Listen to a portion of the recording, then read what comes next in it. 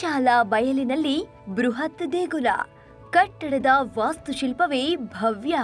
ಪುರಾತನ ಪಕ್ಕದಲ್ಲೇ ಅಲ್ಲಲ್ಲಿ ನೀರು, ದೂರದಲ್ಲಿ ಜಲಾಶಯದ ಛಾಯೆ. ನೀವೀಗ ನೋಡ್ತಿರೋದು ಅಗಾಧ ಜಲರಾಶಿಯ ನಡುವೆ ಹುದುಗಿ ಹೋಗಿದ್ದ ಪ್ರಾಚೀನ ದೇಗುಲ.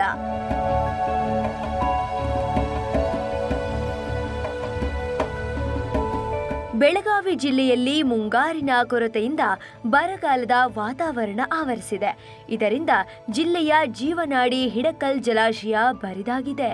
ಬಹುತೇಕ ಡೆಡ್ ಸ್ಟೋರೇಜ್ ಹಂತಕ್ಕೆ ತಲುಪಿರೋ ಹಿಡಕಲ್ನಲ್ಲಿ ಪುರಾತನ ದೇಗುಲವೊಂದು ದರ್ಶನಕ್ಕೆ ಮುಕ್ತವಾಗಿದೆ.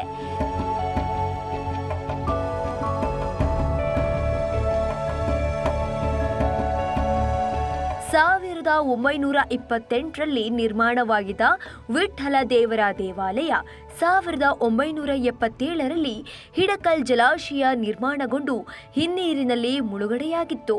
ವರ್ಷದ ಹತ್ತು ತಿಂಗಳು ಸಂಪೂರ್ಣ ನೀರಿನಲ್ಲಿ ಮುಳುಗುವ ದೇವಸ್ಥಾನ ಉಳಿದ ಎರಡು ತಿಂಗಳು ಕೇವಲ ಅರ್ಧದಷ್ಟು ಕಾಣಿಸಿಕೊಳ್ಳುತ್ತೆ.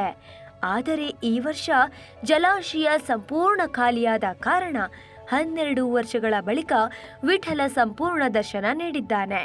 ವರ್ಷದ ಹತ್ತು ತಿಂಗಳು ನೀರಿನಲ್ಲೇ ಮುಳುಗಿದ್ರೂ ದೇಗುಲ ಈಗಲೂ ಹೊಸದರಂತೆ ಅನಿಸ್ತಾ ಇದೆ. ಸಂಪೂರ್ಣ ಕಲ್ಲಿನಲ್ಲೇ ನಿರ್ಮಾಣವಾಗಿರುವ ದೇವಸ್ಥಾನದ ದರ್ಶನಕ್ಕೆ ತಂಡೋಪತಂಡವಾಗಿ ಸ್ಥಳೀಯರು ಆಗಮಿಸುತ್ತಿದ್ದಾರೆ ಐವತ್ತು ವರ್ಷ ಹಿಂದಿಂದ ಗುಡಿ ಮುಚ್ಚುತ್ತಾರೆ ಈ ವರ್ಷ ತೆರೆದಿದೆ. ಅಣ್ಣ ದೇವಸ್ಥಾನಕ್ಕೆ ನೋಡ್ಬೇಕಂತ ಬಂದಿದ್ದು ಹಾಂ ದೇವಸ್ಥಾನ ಚಲೋ ಐತ್ರಿ. ಹಾಂ ಐವತ್ತು ವರ್ಷ ಆತು ನಿರ್ವಾಗ ಐತೈತೆ ರೀ.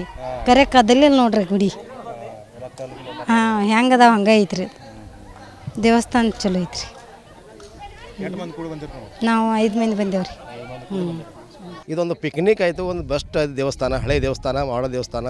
ಹತ್ತೊಂಬತ್ತು ನೂರ ಐವತ್ತೊಂದರಾಗೇನು ಇದು ಸ್ಥಾಪನೆ ಆಗ್ಯದ ಅಂದ್ರೆ ಸ್ವತಂತ್ರಕ್ಕಿಂತ ಆದ ಹತ್ತೊಂಬತ್ತು ನೂರ ಇಪ್ಪತ್ತೆಂಟರಾಗ ಕಟ್ಟಾರ ಅರೆ ಹಳೆ ದೇವಸ್ಥಾನ ಭಾರಿ ಕಲ್ಲಿಂದ ನಂಬರ್ ಒನ್ ದೇವಸ್ಥಾನ. ಇದು ಯಾವತ್ತೂ ನೀರಿನಾಗಿರ್ತದೆ. ಸ ದೇವಸ್ಥಾನ ಡ್ಯಾಮೇಜ್ ಇಲ್ಲ, ಯಾವುದೂ ಏನಿಲ್ಲ. ಇದು ಕಲ್ಲ, ಪ್ರತಿಯೊಂದೊಂದು ಕಲ್ಲುಗಳು